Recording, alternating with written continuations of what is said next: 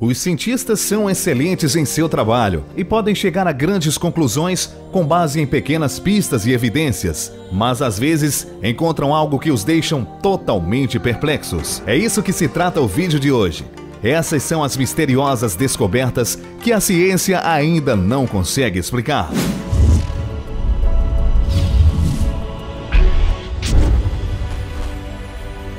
Alan Hills, 84001 ou a LH 84001. Em 1984, foi descoberto na Antártida um meteorito que recebeu o nome de Alan Hills 84001 ou a LH 84001. E os cientistas descobriram que ele muito provavelmente veio de Marte após o impacto de um asteroide sobre a superfície marciana. Agora, o novo estudo encontrou nessa rocha algumas moléculas orgânicas de 4 bilhões de anos, incluindo nitrogênio. Essas moléculas, que foram os blocos da construção da vida como a conhecemos, foram encontradas nos minerais carbonáticos, após o impacto que ocorreu na época em que Marte era úmido e potencialmente habitável, muito tempo atrás, há cerca de 16 milhões de anos, calculam os cientistas. É preciso enfatizar que ainda não podemos dizer que foram encontradas evidências concretas de vida marciana. Em breve, o robô rover Perseverance da missão Mars 2020 da NASA será lançado para buscar sinais de organismos antigos que talvez existam no planeta vermelho. Ele coletará amostras que futuramente serão trazidas à Terra e assim os cientistas terão ainda mais material para estudar. Boneca Nampa a inexplicável boneca Nampa é um dos artefatos totalmente fora do seu tempo que parecem desafiar a história e tudo o que foi dito na escola. A boneca estranha foi descoberta em 1889 em Nampa, Idaho. É uma figura pequena que foi escavada por acidente durante uma operação de perfuração de petróleo na região. O item misterioso tem causado grande interesse desde que foi encontrado, uma vez que é claramente feito por seres humanos. A estatueta foi descoberta a uma profundidade de 320 pés e, de acordo com análises iniciais, a idade dela pode chegar a ser mais antiga do que os humanos na Terra. Segundo os pesquisadores, as camadas desta profundidade são datadas em cerca de 2 milhões de anos. Devido à passagem do tempo e pelo fato da estatueta ser composta de quartzo e argila, a estatueta está em muito mau estado hoje. Ela tem a cabeça em forma circular, os seus olhos e boca são quase imperceptíveis e a perna direita da boneca está quebrada. Segundo os pesquisadores, a estatueta de Nampa tem marcas geométricas estranhas em sua superfície que são pouco visíveis.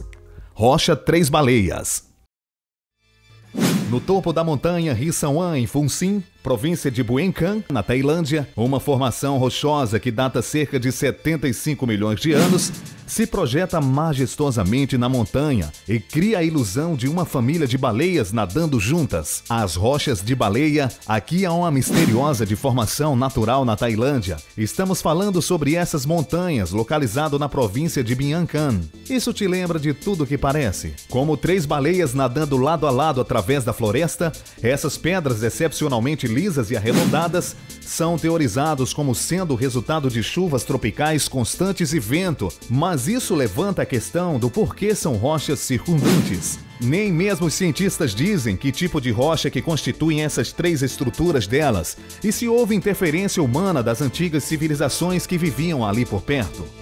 E ainda temos a teoria de alguns fãs que acreditam que essas estruturas fazem parte dos fósseis de criaturas marinhas antigas que morreram nesta região. E se isso fosse verdadeiro, imagine o tamanho dessas criaturas enquanto eles estavam vivos. Difícil de acreditar que tais coisas existem.